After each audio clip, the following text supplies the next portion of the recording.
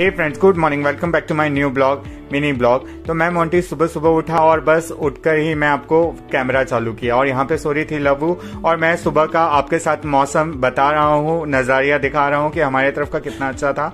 कल तो फॉग नहीं था। और ये बस मैं आपको हमारे तरफ़ का एरिया दिखा रहा हूँ और यहाँ पे मम्मी सुबह सुबह इतनी ज़्यादा कोल्ड थी कि दादा और अम्मा ने बाजू में आग लगाए हुए थे। बस मम्मी वहाँ पे आग सेक रही थी और मैंने पानी में पानी का लगाया। और बस मैं फिर से बिस्तर में आ गया बिकॉज़ पानी गर्म होने में अभी टाइम था और इतनी कड़ाके की ठंडी थी कि मन नहीं कर रहा था।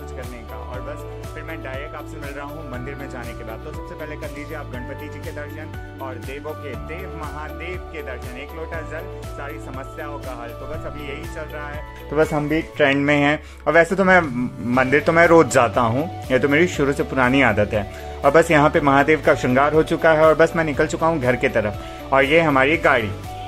बस निकल चुका हूँ घर की तरफ़ तो घर पर आया नहीं तो लवू देखा हूँ तो लवू जला रही थी आग बिकॉज़ ठंडी इतनी काफ़ी थी मैं आपको क्या बताऊँ बहुत ज़्यादा सर ठंडी थी।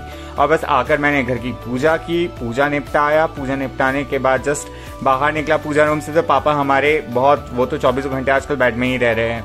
तो बस यहाँ पे दादा और लवू आग सेक रहे हैं और मम्मी कर रही थी क्लॉथ्स वगैरह क्लीन कर रही थी। और बस मैंने आते से मुझे लगी थी दो की भूख बिकॉज़ ब्रेकफास्ट वगैरह नहीं किया तो मैंने आते से ही देखा तो रोटी नहीं बनी थी, बाकी सारा लंच तैयार हो चुका था। तो मैंने बनाया अपने लिए शाही पराठा, शाही अंदाज में।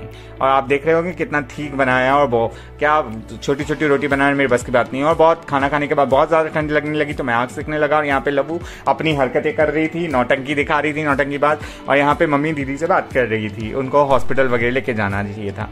और बस मेरे को यहाँ पे सामान वगैरह बताई थी, मम्मी, क्या क्या क्या क्या लाना है? तो बस हम लोग निकल पड़े। मार्केट की तरफ़ और हमें लेना था सब्ज़ियाँ वगैरह और भी इम्पोर्टेंट सामान। तो बस मैं आपको अपना व्यू दिखा रहा हूँ। हमारे तरफ़ बहुत काफ़ी कल बारिश भी हुई है तो बहुत अच्छा मौसम लग रहा था बट कड़ाके की बहुत सर्दी थी। तो देख लीजिए, नए ब्लॉग में आगे का मैं, जो भी आएगा, नए ब्लॉग में आएगा। अगर वीडियो ऐसे ही गंदे गंदे वीडियो देखना है तो वीडियो को लाइक शेयर सब्सक्राइब ज़रूर कीजिए। Thank you